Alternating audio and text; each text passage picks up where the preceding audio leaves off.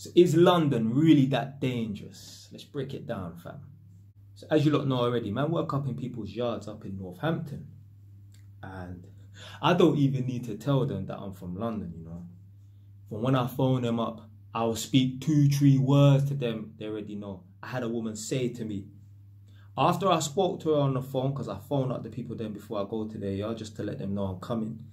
She told me after she got off the phone to me, she put the phone down and she said to her daughter, I guarantee you he's going to be a black man and he's going to be from London. As I jumped out of my car, I don't drive a van, I drive a car. As I got out of my van and was approaching her bungalow, she was standing outside talking to her daughter and she said, See what I mean? Like that, fam. So, anyway, some of the people them asked me, it could be an old woman, it could be a young man, it could be one of the men them. They ask you, ah, oh, is London really that dangerous and that? And I just have to break something down to them. The only reason why there's so many crime reports, so many stabbings and so many shootings in London is because our population is so high. It's such a densely populated place. I say to them, what place is going to have a higher crime rate?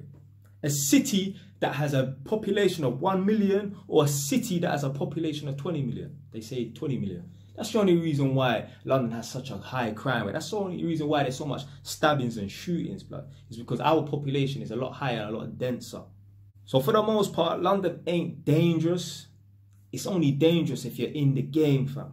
What's the game? It ain't no video game. It ain't nothing that you switch on and you get me there's a joystick and a joypad. Nah, fam. You don't really get a second chance at this game, bro. So let me just break down this thing. So man's from Edmonton. I go back on the weekends and that.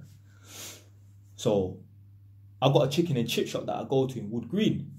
So certain times man will drive through Tottenham, but it's easier if I just go through Wood Green. But there was one time I wanted to just drive through Tottenham. So anyway, I was driving through Tottenham now, and I thought, you know what? Let me just pass. Let me just pass through Broadwater Farm. That's man's old workplace and that.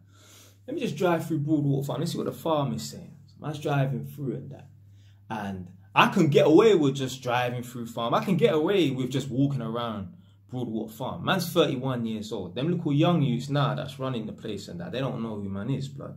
But I couldn't have gotten away with just walking through Broadwater Farm when I was 18, 19 years old. No fucking way, blood. Man will try G-check me, I'll tell them where I'm from, and it's straight on, blood. Broadwater Farm was such a slip for man. It's not even that, like, I had little one-two run-ins with couple man there, but just where I'm from, it was a slip for man. It was such a slip for man. I went for a job interview in Broadwater Farm and man had to arm myself with something. I don't even want to say, I don't want this video getting taken down off of TikTok and that. Because TikTok is real sensitive. But I had to arm myself with something in my laptop bag. Imagine sitting in a job interview with something in your laptop bag because where you're having the job interview is a slip. Bro. So I can get away with get me being 30 years old, whatever walking around Broadwater Farm, driving around Broadwater Farm and that because I'm not in the game. But back in the day when man was all 17, 18, 19, I was in the game. Nah, that can't run, fam. All it takes is the wrong set of eyes to see, man. The man are getting on the phone and it's peak blood. But even if you grow up on the ends, you're not forced into the game by default. You create the reality you live in. I was going to say, you are a victim. But man don't want to use the V word. Man never use the victim word. You're subjected to the reality that you create. So if you put yourself in that game, oh, you're going to feel the repercussions of playing that game, fam. You've got the area and you've got the ends. You've got Tottenham, you've got 1-7 and 1-5. You've got Wood Green and you've got 22nd side. You've got Edmonton and you've got N9, formerly known as Shanktown. I'll give you the perfect example of one person living in an area and one person being a part of the ends, although it's the exact same geographical location. I've got a little brother. He's six, seven years younger than me. Me and him born, live and grow in the same yard, blood. But our realities were completely different. The things that I've experienced, he's never and never will experience. Do you know why? Because he just lived in the area. I lived in the ends, blood. You see, my little brother, he's from Edmonton, but I'm from Green City, fam. Why do you think man wear this green hoodie? Think about it. Who has a green hoodie, fam? How many man you know wear a green hoodie, fam? I've had this hoodie since I was 17, coming like 14 years, blood. I was a part of the ends, blood. I was a part of the get me green gang on there, yeah. Man, was a part of that, blood. So the things that I was subjected to, come, I don't want to use the V word. The things that I was subjected to is because I was a part of the ends and I weren't just someone just living in the area. So London's only dangerous if you put yourself in that environment. I've been stabbed, I've been to prison, man's been rushed, man's done all of it, fam. Gone up to country and that. My little brother's done none of that. Do you know why? Because he just lived in the area and he wasn't a part of the ends, fam. So London is not a dangerous place.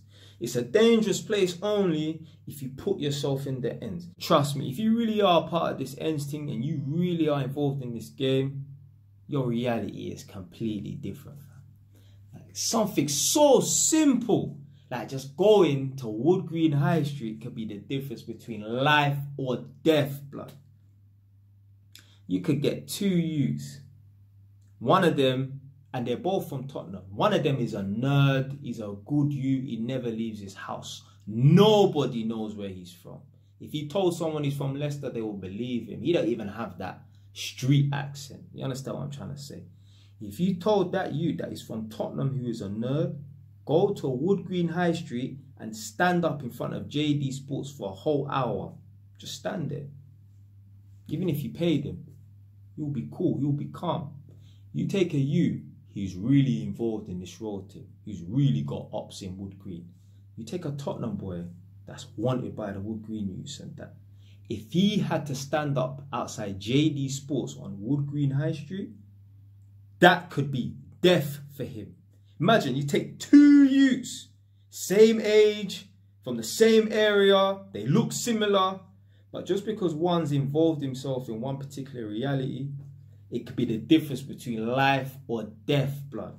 Imagine, you could have civilians just walking down Tottenham High Street, yeah? Tottenham High Road and that. They're not involved in nothing, so this is cool walking down Tottenham High Road and that. You could not put a wood green you on Tottenham High Road and he'll feel safe, blood. No way, fam.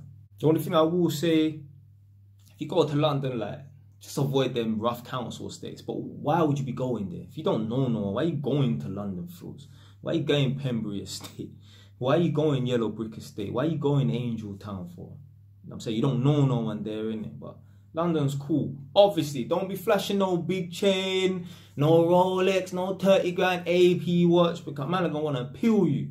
Yeah, man will just come out of nowhere, fam. Yeah, I remember before them little youths, they was riding around on the motorbikes, the mopeds and that going around robbing people. I'm sure Amir Khan got robbed and that, and I'm seeing videos, man, getting held up at gunpoint in their car. I think it was Crystal Palace's football manager or something. He got robbed in his car for his watch.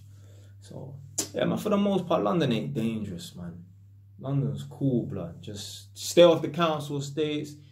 Don't be a part of the game. Get me, you be calm, blood.